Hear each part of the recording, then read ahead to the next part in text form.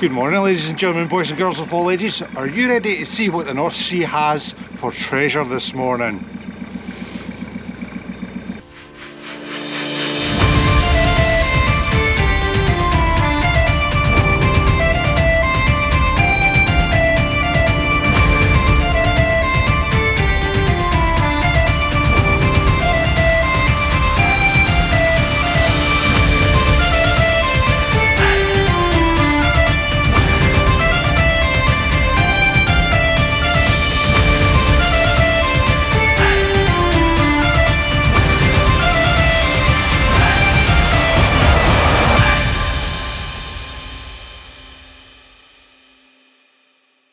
Hello everyone and a very warm welcome indeed to another episode of One Man and His Boat. So this is the first day that we're actually going to go and actually pull pots for profit. Uh, we still have four fleets that are needing brought in to wash but we're going to do them uh, every second day uh, just so we can actually earn something. What is happening this week? Well we have a meeting with Rachael Hamilton S MSP trying to get my words around. It's early in the morning. Give me a minute. I've not even had a cup of tea. Uh, yes, and we're going to be talking about the HPMAs and uh, it's going to be very interesting to see her take on things as she is actually defending uh, the local communities, excuse me, the local communities that the HPMAs will affect. Now obviously it's a big thing now uh, between that and the MCA and their ML5s and I'm still saying to every single fisherman out there, don't do it. Don't bow down to the dictation that's coming through the MCA because this is your business, it's not theirs. They can write all the rules and regulations all they want but nah, do they get a fitness record to say if they're fit to go to work or not? No they don't, but they like to sit in an office and make the rules up that they do just to please their uh, God, I went too far forward now. Just to please their own um, back. Right, anyway guys, I'm going to stop moaning. It's Sunday morning. Let's get it on.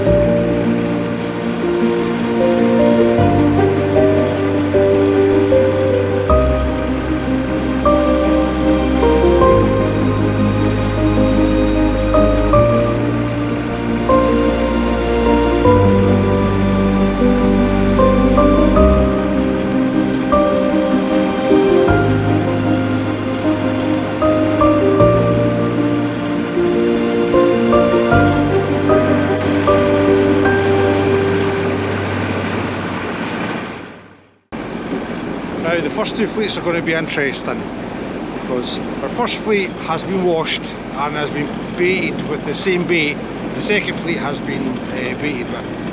However the second fleet is not washed. So it'll be interesting for you guys to see exactly the difference between a washed creel and an unwashed creel. Just not feeling it this morning guys, I really am not I think I'd be keen for getting back out to uh, pots but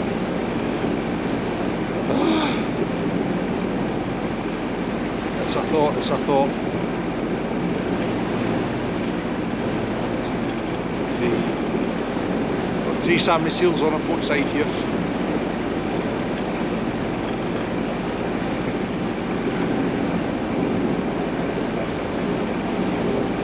La la la la la la la la la la la Are you excited for me to be back? I certainly am. Goodness we're back out in the water.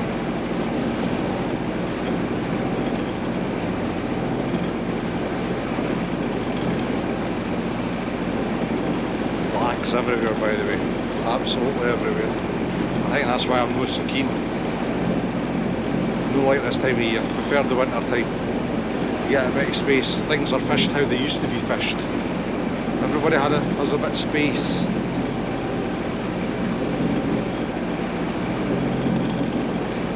Fact, I'll tell you a wee story, something that just uh, enlightened me not that long ago.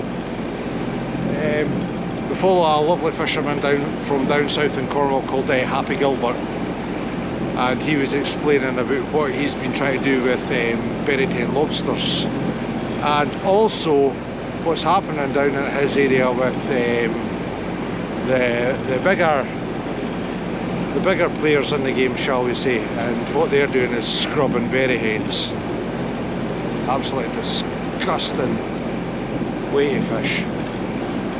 A, obviously you're killing all the wee berries, all the, the, the wee lives and B, the, the female lobster does not last long after you scrub her. It's just not a good practice whatsoever but to them it's all profit. And what Happy Gilbert uh, explained that really clicked home with me is there's fishermen that'll do their best by the stocks they'll do the best by year limitation and then there's businessmen that doesn't give a damn they'll only care about profit and it doesn't matter who gets in the road and unfortunately in this game it's the bigger players that always wins. The wee guys do what they can, doesn't make any difference. Big boys comes in with his big bucks, all his money, lays the land, scat, fills, fills the, the ground with all his gear. He doesn't care. He's no bothered about the future generations trying to get into this job. But the government love the kind of people because that's how they make their money. Right, anyway, stop talking Baz and let's get on with some work, shall we? Right, first fleet approaching guys.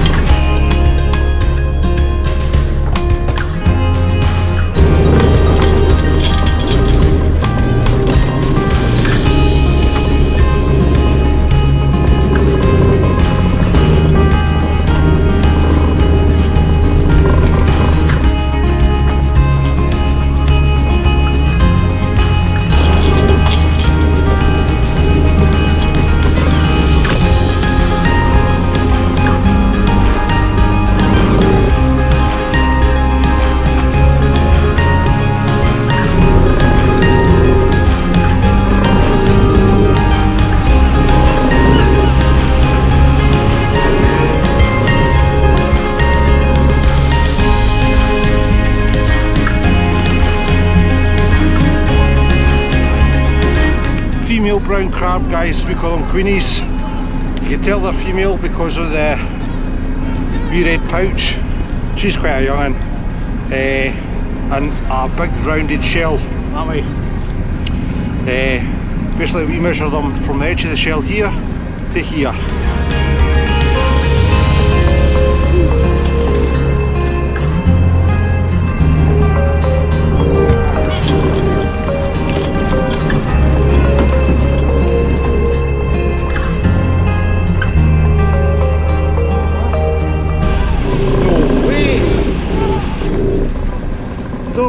Believe it. Nah, absolutely not.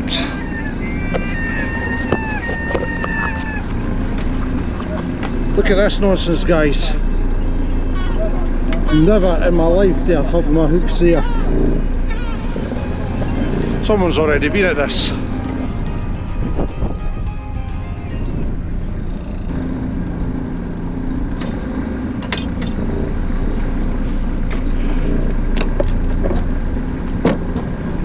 Hey nice berry hen to uh, mark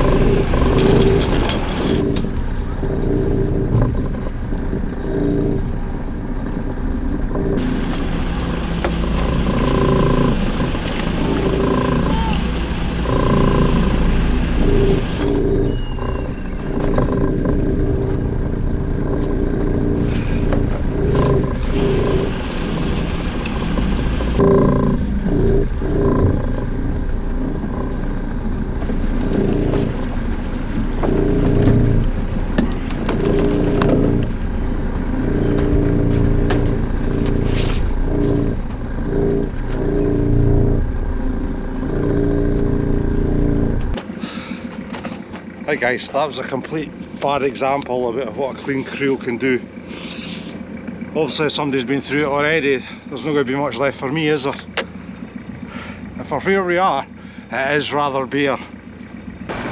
Right guys, another reason why we didn't do well out of that fleet, I just noticed that uh, one of our other boats had shot right down the side of me. Absolute nonsense. If boats are shooting like that together, the of aren't going to fish. You have to either stagger or take a berth out. It's absolutely, honestly, fishermen nowadays.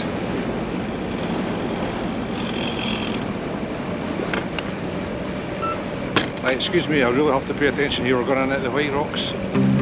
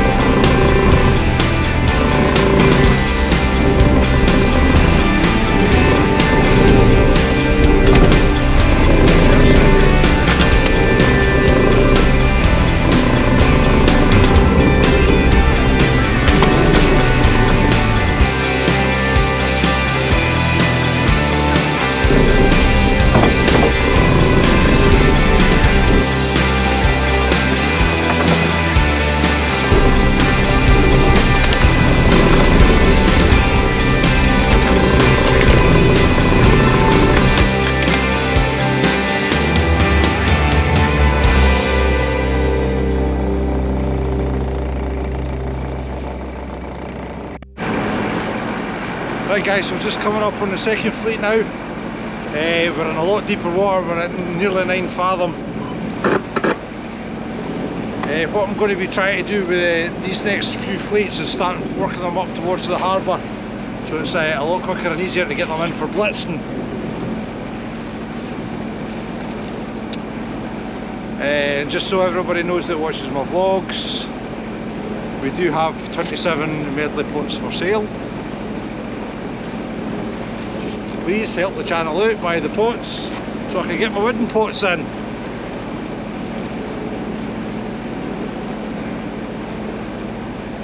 There's actually been two or three folk wanting individual creels, but I'd rather get them away as a job walk.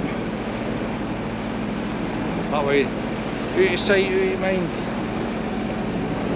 There's bloody woody right next to these, I know. Ah, see I told you I hate this time of year. Can't he frickin' move?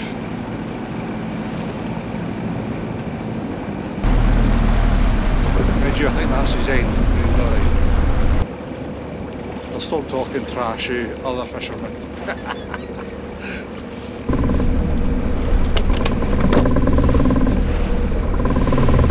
There's that much gear in the water, they've got nowhere else to put them, bless them.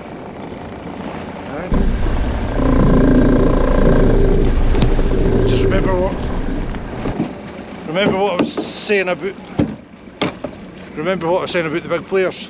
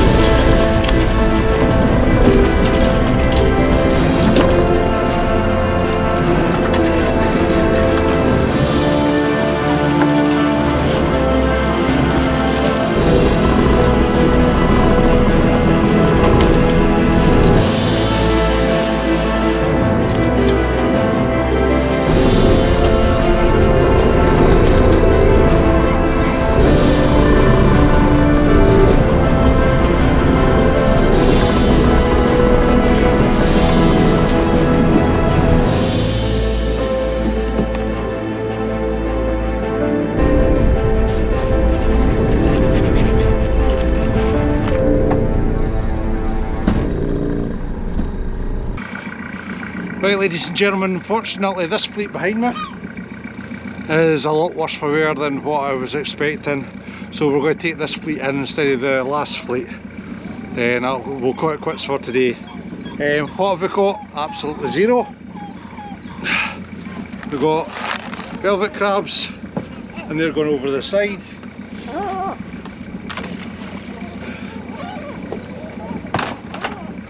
So yeah, a a total wasted day. However, we've got gear back, so that's a positive. Eh, we just need to sort it out. And, oh, it's tough at the top, eh? it really is. you try so hard. But there you go. We still it looks like we still have another couple of days yet to sort sort things out. And that's what happens when the boats are lying a lengthy time. I mean the gear's out here in all weathers. Uh, this this was shaped like a horseshoe and it was all balled up sort of in the middle eh? so yeah. Right guys, if you enjoyed this video please give it a thumbs up. Please write a comment below if you have any questions. Please, please, please subscribe to the channel. And just remember, one man boat will always be fishing for tomorrow, not for today. Until your next vlog my friends, all the very best.